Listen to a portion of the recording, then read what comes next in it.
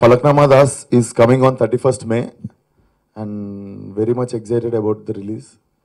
Release కాకపోతే నిన్నటి దాకా నాకు కొంచెం ఎగ్జామ్ రాసి రిజల్ట్స్ రిజల్ట్స్ కోసం థర్టీ ఫస్ట్ దాకా వెయిట్ చేయాలన్న ఫీలింగ్ ఉండే. సో ఈరోజు ఒక హండ్రెడ్ మెంబర్స్కి సినిమా చూపించిన. సో నా ఫేస్ ఎంత మంచిగా వెలుగుతుందో I saw everyone like everyone thoroughly enjoyed the film and thank you sir Suresh sir మీరు నిజంగా మీరు చేతిలోకి తీసుకున్న తర్వాత ఇంకొంచెం కాన్ఫిడెన్స్ వచ్చింది నాకు. సార్ మామూలుగా అంత ఈజీగా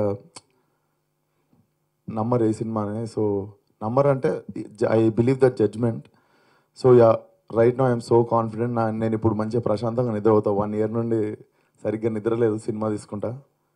And yeah see you all in see you all on thirty first May thank you Falaknuma Das is coming on thirty first May and very much excited about the release కాకపోతే నిన్నటిదాకా నాకు కొంచెం exam రాసి results results కోసం thirty first దాకా wait చేయాలన్న feeling ఉండే. So ఈరోజు ఒక హండ్రెడ్ మెంబర్స్కి సినిమా చూపించిన. సో నా ఫేస్ ఎంత మంచిగా వెలుగుతుందో I saw everyone like everyone thoroughly enjoyed the film and thank you sir Suresh sir.